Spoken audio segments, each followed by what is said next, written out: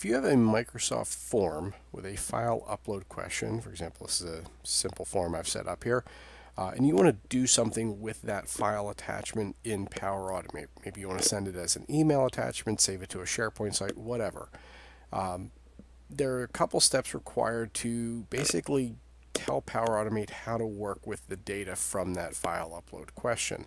Specifically, the data comes in as JSON, and you need to use an action called parse JSON that will essentially translate that into a, an object or, or a data type that Power Automate can work with.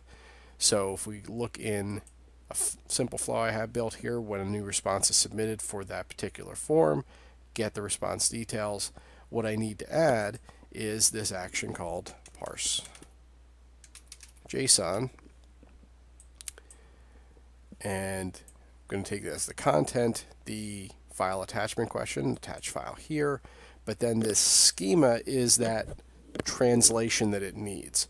Now, one of the things you can do is if you don't want to hand type the schema, uh, you can generate it from a sample. So what we need to do that is, or need to paste into the sample, is the actual response data from the form submission.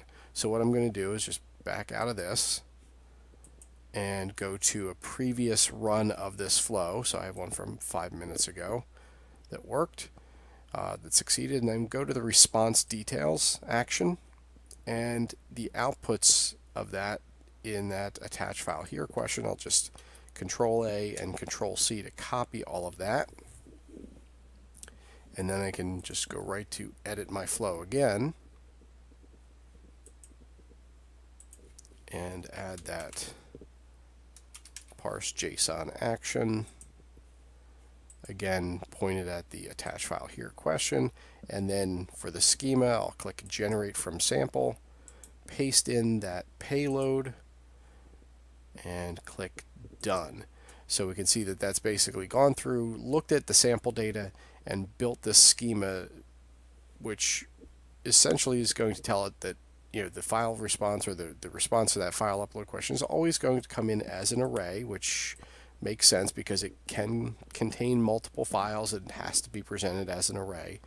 And that within that there's it, it has objects. So uh, objects are data structures with properties and properties of a name a link an ID a type a size a reference ID, a drive ID, a status, and an upload session URL.